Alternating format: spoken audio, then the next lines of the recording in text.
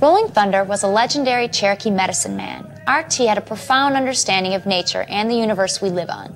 As subject of the book Rolling Thunder by Doug Boyd, many people from around the world sought his counsel.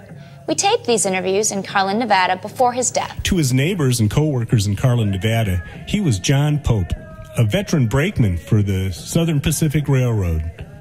But his family, friends, and tribal brothers and sisters as well as hundreds of people who witnessed demonstrations of his remarkable healing power, know him as Rolling Thunder, a Native American and heir to the traditional role among his people, that of intertribal medicine man. We're thankful always for what we have that's good. We're thankful that we're alive in this Mother Earth. But I can tell you too that our neighbors, the coyotes, the other animals, and even the snakes, we don't regard as enemies. But we don't even have a war dance or war song like they claim we do. Moving pictures, different things. We're peaceful people. We have a victory dance. And uh, victory can be over anything that's bad.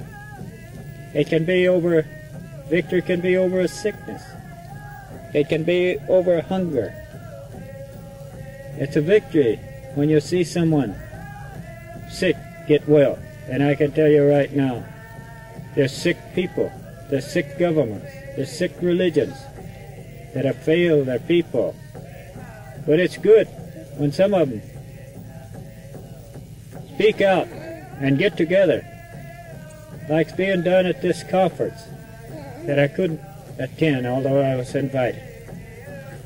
And it's uh, good to see people of the different nations, as our own tribes have been getting together again in this land. And then we see it spreading to all lands.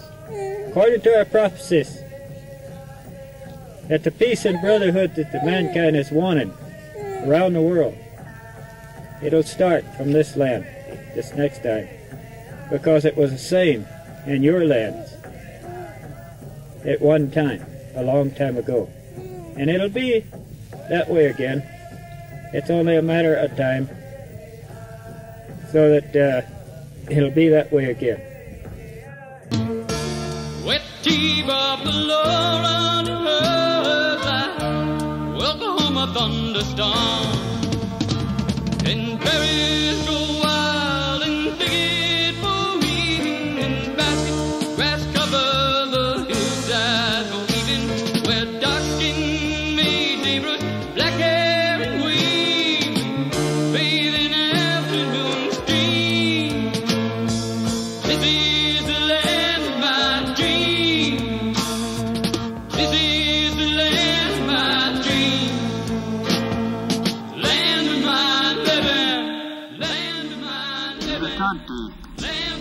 means go in peace.